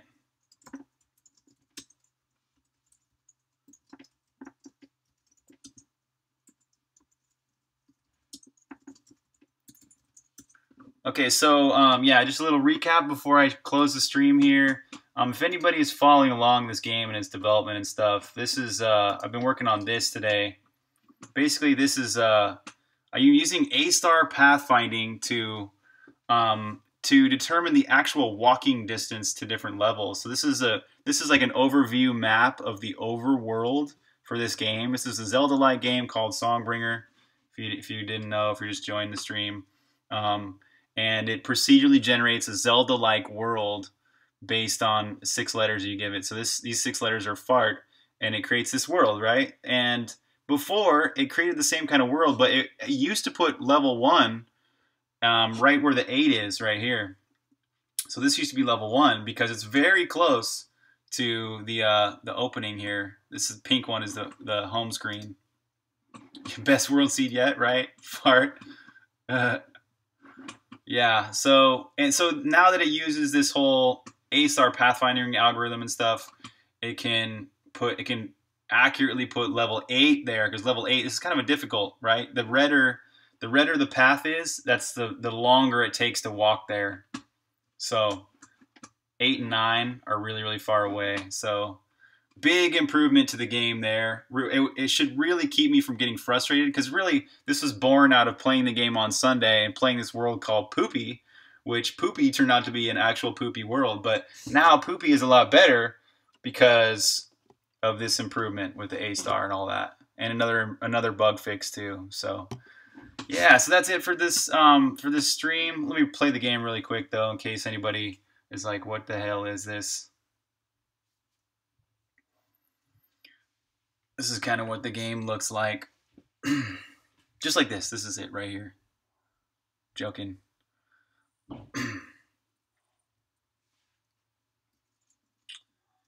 yeah, so it's just like Zelda basically. This is a this is actually one of the dungeons. Um, so you've got dungeons and you've also got the overworld, so yeah, this guy's fixed now this guy does this freezing fog gas, and now that that bug with him is fixed, you can actually be frozen by his gas and stuff. He frozen by his gas in the world fart, right? Hilarious. So yeah, that's it for today's stream. Um, I'll be back tomorrow, usually same time. I'm usually around 4 p.m. Pacific, or sometimes 2, sometimes 5, who knows. So best way to follow me is to follow and then get the email notifications. So so that's it, everybody. Thank you again. Appreciate y'all a lot. Thanks for all the suggestions. I got some good homework to do here and check out. So